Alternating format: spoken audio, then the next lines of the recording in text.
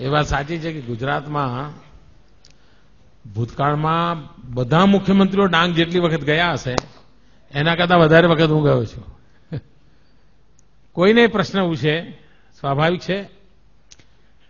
જે કામ કરે ને, એને સમયનો પ્રશ્ન જ નથી હોતો. જે ન કરે ને, એને સમયના પ્રોબ્લેમ હોય છે. તમે જોજો, આ દુનિયાનો નિયમ છે.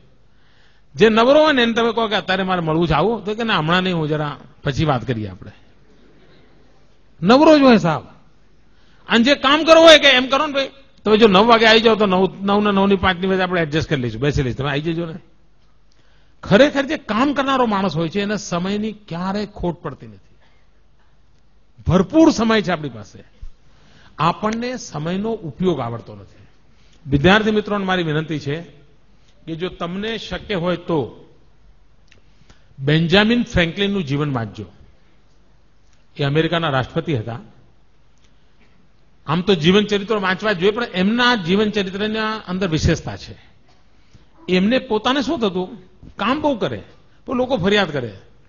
કે તમે આ નથી કરતા, તમે મળતા નથી, તમે એટલે પછી એમને થયું કે હાડું, આ આટલું બધી મહેનત કરું તો એમ મને તો ફરિયાદો જ આવ્યા કરે છે. એટલે એમણે અભ્યાસ ચાલુ કર્યો પોતાનો અને એક ડાયરી બનાવી. અને એમાં એમણે લખ્યું, ભાઈ, કરવા જેવા કામો કેટલા કર્યા? ન કરવા જેવા કામો કેટલા કર્યા?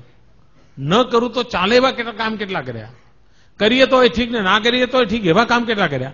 અને પછી ટીકમાર્ક કરવા મળ્યા સોમવારે જેટલા કામ કર્યા બધું ટીકમાર્ક કરે. મંગળ, અઠવાડિયા પછી એમણે જોયું કે કરવા જેવા કામ ઓછામાં ઓછા કર્યા હતા. અને ન કરું તો ચાલે એવા બધા જ કર્યા હતા.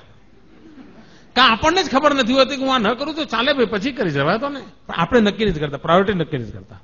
અને આ જો સહેજ આપણે ટેવ પાડી દઈએ કે કરવા જેવા કામોમાં કોઈ કોમ્પ્રોમાઇઝ નહીં. તો તમે જોજો, તમારા બધો સમય ઉપજાઉ થઈ જશે.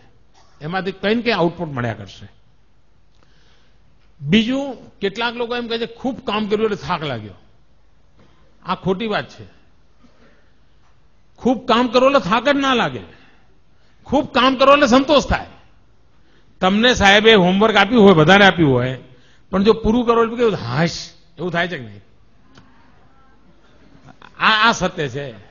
અને બાકી હોય તો મમ્મી, હું દૂધ લેવા નહીં જાઉં, મારું લેસન બાકી છે. હું મમ્મી, હું નાના બહેન નહીં રમાડું, મારું દૂધ બાકી છે. અરે મમ્મી, તું રેડિયો બંધ કરને મારું લેસન બાકી એવું ચાલે ને ઘરમાં?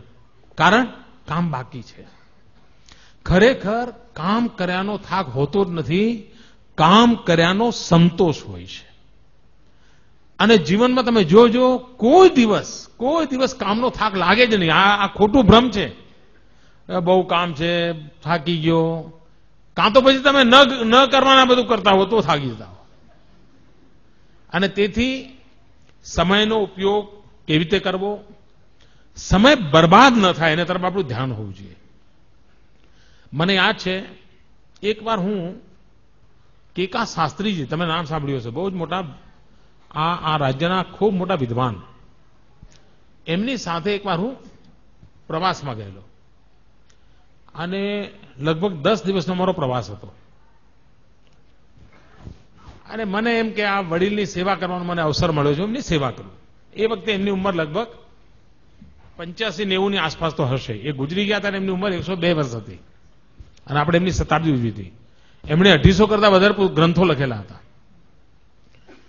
તો મેં એમને દસે દિવસ બરાબર ઓબ્ઝર્વ કર્યા. તમને આશ્ચર્ય થશે, એમણે શબ્દકોશ લખ્યો છે, ગુજરાતી શબ્દકોશ. માનો કે રેલવે ફાટક હોય, અને રેલવે ફાટકમાં અમારી ગાડી ઊભી રહી હોય, તો આપણે શું કરીએ? ઊભા રહીને નીચે લટાર મારીએ, યા ત્યાં સિંગ ચણાની લારી હોય તો ત્યાં જઈએ, ક્યાંક ટમેટા મળતા હોય તો એ જઈએ, એવું બધું કરીએ ને? મેં જોયું કે જેવી બસ ઊભી રહી નથી કે પોતાના થેલામાં ચોપડો કાઢ્યો નથી. તરત આમ લખવાનું ચાલુ જ કરી દે. અને ફરી પાછી ફાટક ખુલે અને બસ ચાલે, પછી અમને મૂકી દે. મને એમ થાય કે આ માણસ સમયનો કેટલો બધો ઉપયોગ કરે છે. રાત્રે ક્યાંય પહોંચવાનું હોય, ધર્મશાળામાં ઉતરતા, તો હું એમના માટે કે પથારી પથારી લેવા જઉં, એ પહેલા તો એ પોતાનું જે થેલો હતો એનું ઓછું કહીને સુઈ ગયા હોય. મારે એમને રાત્રે ઓઢાડવા પડે કશું નહીં, કોઈ અપેક્ષા જ નહીં. ત્યારે હું જોતો હતો કે આ વ્યક્તિ આટલું બધું કામ કેવી રીતે કરી શક્યા હશે? સમયનો એટલો અદભુત ઉપયોગ કરતા હતા એ. મેં એટલા આમ, અને મારી કાંઈથી મેં જોયું છે ને અને હું, મને તાજુબ હતું, અને એમના જીવનક્રમની અંદર પૂજા પાઠ લેખન, વાંચન, આ ચીજમાં કોઈ એક મિનિટનો ફરક નહોતો પડતો. અને દસ દિવસનું એટલું હેક્ટિક શેડ્યુલ હતું, એ ઘરે રહીને જેટલા કામ પૂરા કરતા હતા, એટલા જ કામ એમણે પ્રવાસમાં પણ પૂરા કર્યા. એટલે મારા મન પર એની અસર હતી અને પંચ્યાસી નેવું વર્ષની ઉંમર. આપણા ઘરમાં આપણા દાદાજી પંચ્યાસી નેવું વર્ષના હોય તો શું કરતા હોય, તમને ખબર છે ને? આ પંચ્યાસી નેવું વર્ષની ઉંમરે. અને એકસો ત્રણ વર્ષ જીવ્યા હતા જીવનને કેટલું પરફેક્ટ એમણે રાખ્યું હશે એનો તમે અંદાજ કરી શકો છો. તો સમયનો સદુપયોગ. આ મંત્ર લઈને જો ચાલીએ, કરવા જેવા કામોને પૂરા કરવાનો આગ્રહ રાખીએ, કામમાં આનંદનો ભાવ અનુભવીએ, તો આપણને ચોક્કસ પરિણામ મળે.